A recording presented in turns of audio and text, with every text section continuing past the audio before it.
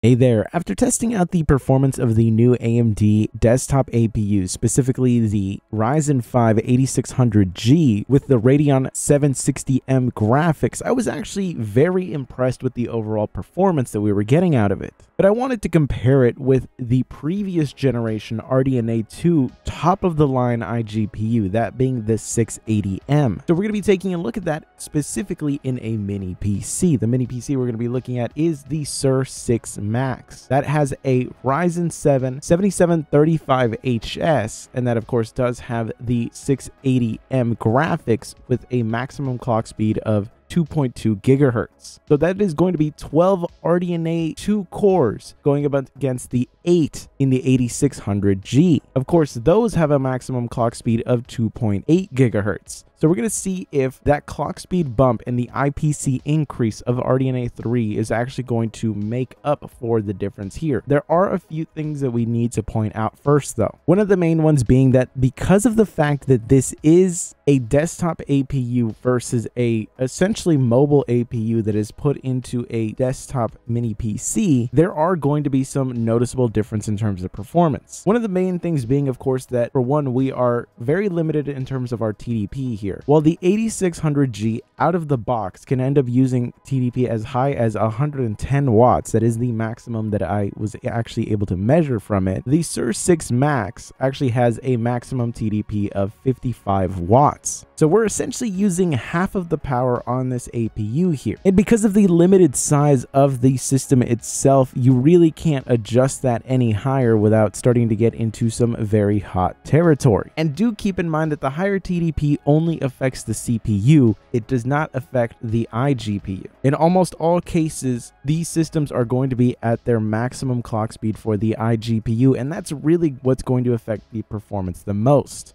That and the other key difference here being that while both of these are DDR5 based systems, we're looking at desktop DDR5 at a clock speed of 6400 megahertz and with XMP timings, which means that it is technically an overclock versus mobile DDR5 that completely sticks to JEDEC speed and is capped out at a maximum speed on this specific system at 4800 megahertz. And if you're not familiar with this, the clock speed of your memory is actually going to drastically affect the performance of your APUs. The reason being is that since they don't have any dedicated VRAM of their own, they have to use system RAM for that. So the faster system memory that you have, the better overall performance you're going to get here. One of the biggest limitation with mobile APUs is the fact that you are almost always going to be stuck at JEDEC speeds. JEDEC being essentially the standard that sets what the minimum timings and clock speeds are going to be for each generation of DDR. And JEDEC is essentially just there for a target for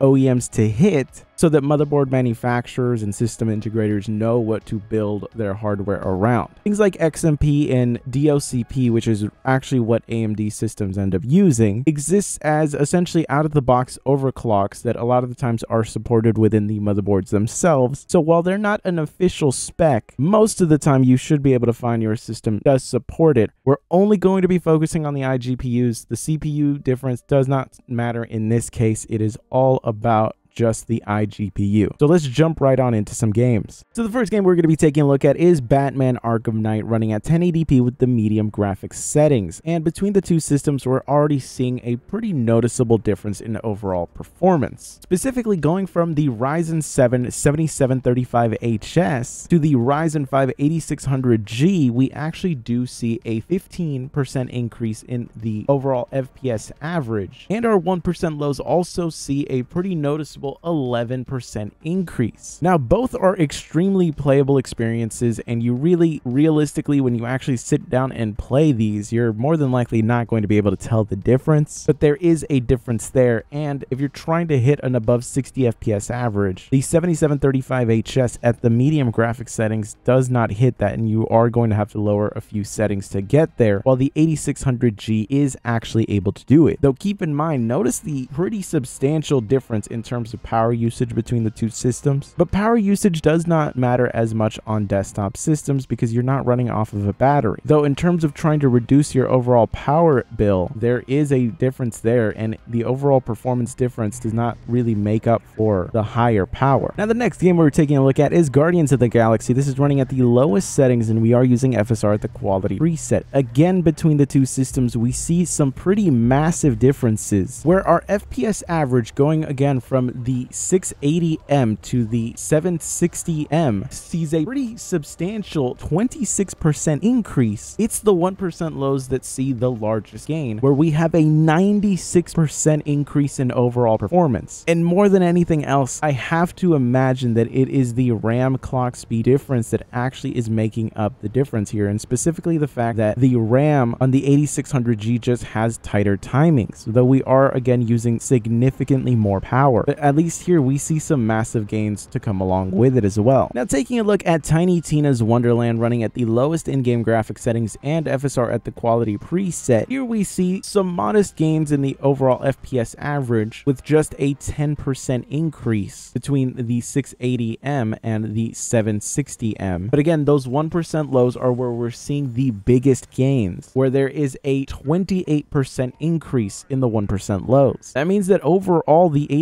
8600G is going to be a significantly smoother gaming experience. And again, I just have to imagine that this is the RAM speed difference because while our FPS average isn't really improving all that much, it's those 1% lows that are seeing some massive gains. And from previous APU generations on the desktop, the 1% lows are really where you saw the largest uplifts when you started to actually overclock your RAM. Now I also took a look at Rise of the Tomb Raider running at the very high graphics settings and here we also see some pretty massive differences where our FPS average sees a 32% increase going from the 680M to the 760M and of course our 1% lows see a pretty significant 40% increase in overall performance. This is going to be a significantly noticeable uplift in terms of performance where our 1% lows are falling consistently below 30 with the 7735HS, while on the 8600G, we're actually comfortably above 30. That overall is going to feel like a much smoother and overall more pleasant gaming experience. Now taking a look at Mount & Blade 2 Bannerlord running at the medium settings at 1080p, we do actually see far more modest increases in performance, where our FPS average now sees only a 13% increase and our 1% lows see a 15% increase. This is a title that uses the CPU significantly more than most other games out there are going to use it. And it does seem like that is what's actually making the difference between the two systems noticeably lower between this and the other games that we've actually taken a look at so far. While the improvements are welcome and it does push you to have as close to a 60 FPS average as possible, considering that both systems can't really hit that target, overall, both are decent enough experiences to play the game, and they don't really seem to be as massive in terms of the overall gains in the 1% low specifically that we've seen in other titles. It seems like that CPU limitation is actually making a noticeable difference here in terms of holding back the 760M from really flexing its muscle here. Even though the IPC difference between the Zen 3 based CPU and the Zen 4 one is pretty significant in this specific title, it doesn't really seem to be making an overall difference. Moving on to a far more recent title though, here we have Assassin's Creed Mirage running at the 1080p medium graphics settings with FSR set to balanced. And when we use these specific settings, here the difference between the two systems is pretty massive. Our FPS average ends up seeing a 23% increase in performance, but it's really those 1% lows that again have the largest gains, where we see a 43% increase in overall performance, and really it makes a substantial difference because the 680M is struggling to even hit a 30 FPS average, while the 760M is actually able to get not just above 30, but above 40. And overall, it's going to feel significantly smoother and it's going to be a far more consistent gaming experience. Now, it should be noted that for both systems, I do recommend just setting the automatic resolution scaling with FSR and let the game decide what it needs to do to hit a 60 FPS target. It's going to give you the best gaming experience on both systems, but in general, there is a pretty massive difference in the overall playing experience. And that does mean that if you're using that setting with the 760M, you're going to have a higher resolution and overall better image quality. But now it's time for both systems to be humbled as we take a look at Avatar Frontiers of Pandora running with the lowest in-game graphics settings and we are using FSR at the lowest quality preset. And the performance difference here is, while pretty significantly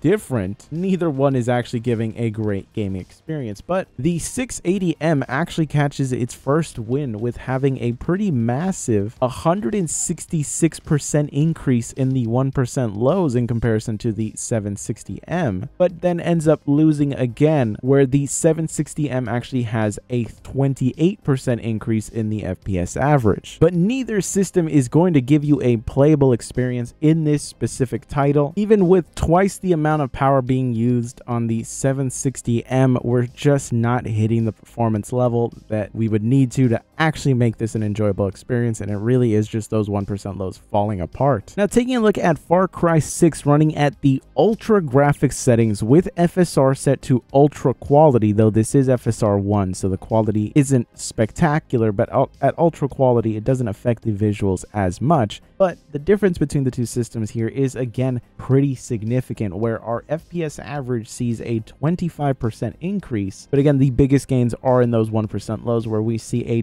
28% increase in overall performance. And again, that pushes us to just a slightly above 30 FPS gaming experience for the 1% lows, up to 1% lows that are above 40. So overall, you're going to have a significantly smoother gaming experience. And for a game that could be as chaotic as Far Cry, that can make a pretty massive difference in terms of the overall gameplay. Another title that really seems to humble both of these systems is Returnal running at the lowest in-game graphics settings with FSR set to the performance performance preset. Neither system really gives us that playable of a gaming experience, at least one that I think would be enjoyable for most people, considering how much we have to sacrifice in terms of the visual quality here. But there are still some massive gains to be had here, where our FPS average does see a 21% increase in overall performance, while our 1% lows see a 20% increase. So not the largest gains that we've seen, but considering the fact that this is already a pretty rough gaming experience, seeing that big of an uplift is is going to make things far more enjoyable for you if you're really, really desperate to play this game. Our 1% lows being one frame below that 30 target that we're going for for 1% lows at a bare minimum, as opposed to the 1% lows of 24, where those are noticeably below 30, is going to feel significantly different. But again, neither one is really going to be that great of a gaming experience because we had to sacrifice so much visually.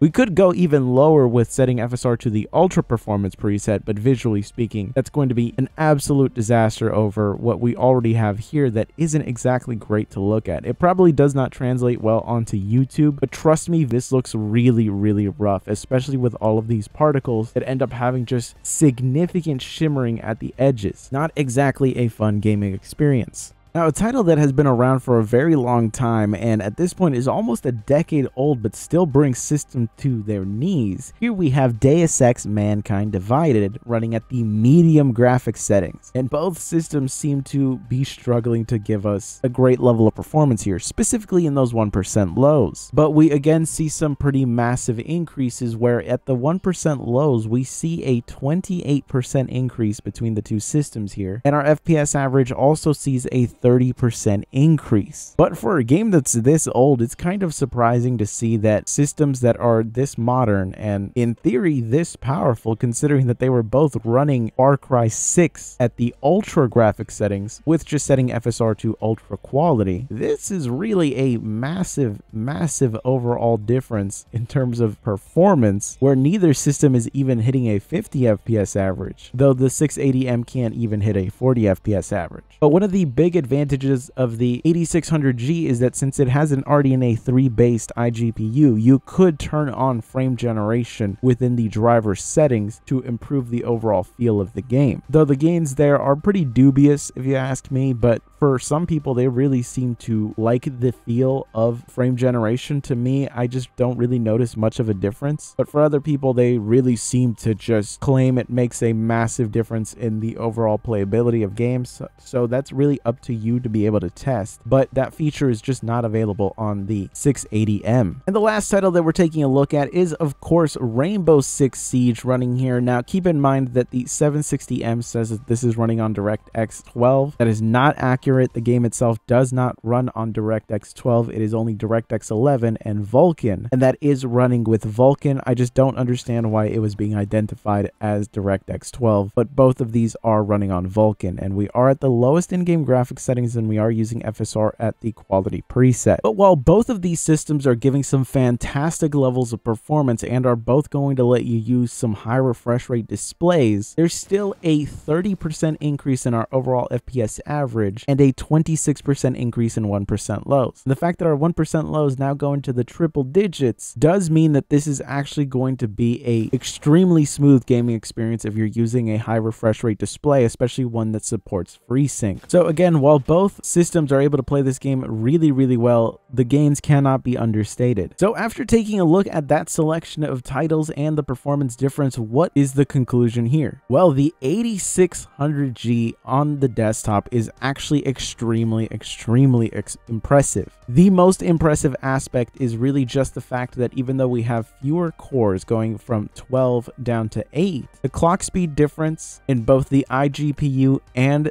the system RAM, as well as the tighter timings overall, means that we are seeing some pretty incredible gains across the board, where at a minimum, we're still looking at around a 10 to 15% increase, and at the high end, sometimes going all the way up to 40% increases in performance. Now, it should be noted that we are on a system now that is using twice as much power to give us that 15 to 40% increase in performance. Whether or not that matters to you is really for you to decide. And this is, of course, not even accounting for the fact that we are talking about a six core CPU versus an eight core, though there is a generational difference in terms of the overall architecture. But if you're looking to just make a system that is gaming orientated and you are thinking about picking up these desktop APUs, I hope that this gives you at least some comfort in knowing that there are going to be some pretty significant gains. And now I'm very curious to see what the difference between this Ryzen 7 7735HS would be versus the 8700G. Since now we're looking at a 12 core versus a 12 core, so we could see what the overall generational difference is, as well as the fact that what difference does having a desktop APU actually make. It should be noted that there was never a desktop APU released with this 680M, so if you're curious why I use this as a comparison point, it is, well,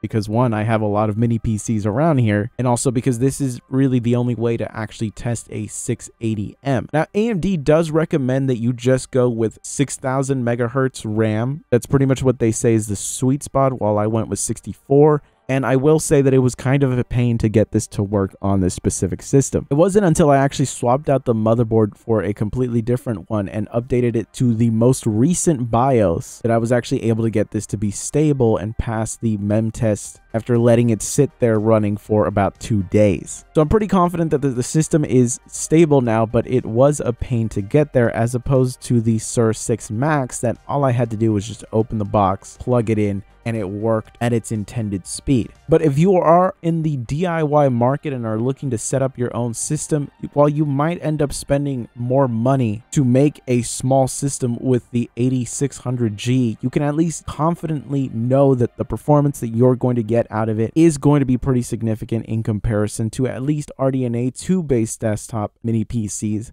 that have been coming down in price pretty significantly. You could usually find systems like this at around the $400 mark, while to make a ITX system that is going to give you the ability to put the 8600G in there, you're looking at really a lot more like at the low end around 600 to realistically if you're not going to be going with deals and used parts more around the 7 to 800 dollar range. It honestly really just comes down to what you consider to be your priority here. If you're someone that is looking to just pick up a system plug it in and get it up and running instantly these mini pcs are still a fantastic deal but because of the fact that you are sacrificing upgradability for size you are also going to be limited with the type of ram that you can use and that's going to affect affect the overall performance. We will next be testing out a system that actually is in the same CPU generation, so a Zen 4 versus Zen 4, and that's going to be with the 7840 HS that is in the Minisforum mini PC that I absolutely love, the UM780 XTX. So that is going to be an RDNA 3 based APU with 12 cores versus the 8 RDNA 3 that we have here. So let's see if the desktop version is actually able to top that as well. But anyways, I hope you found this video useful or interesting. If you did, let me know down below. I'm curious what you think and which one of these two systems you would consider picking up yourself. I'll catch you guys in the next one.